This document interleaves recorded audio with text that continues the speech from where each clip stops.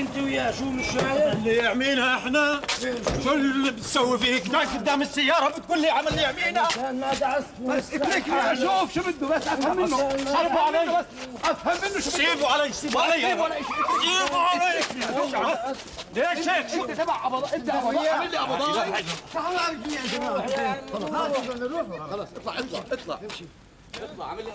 امشي اطلع يلا يلا يلا.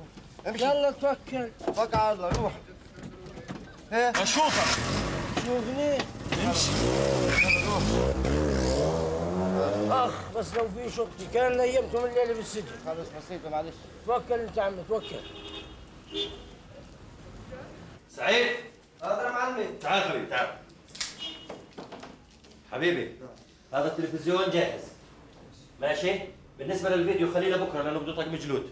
واشتغل اللي بيدك جوا. بسرعة حبيبي. ايف وي. شو هالأمة هاي؟ خير مالك. صدقني يا أبو نسب إنه الواحد صار يخاف يقطع الشارع بالليل من جنون هالسواقي.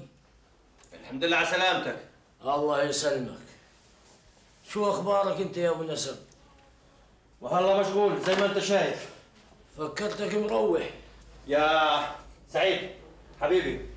حط الأغراض بالشنطة وخلينا نطلع بيت أبو ناصر. بسرعة. شو طالع؟ آه ما أنت شايف ورانا شغل كثير. طيب شو بدي أقول؟ بلاقيش حواليك عشرين دينار فالتات.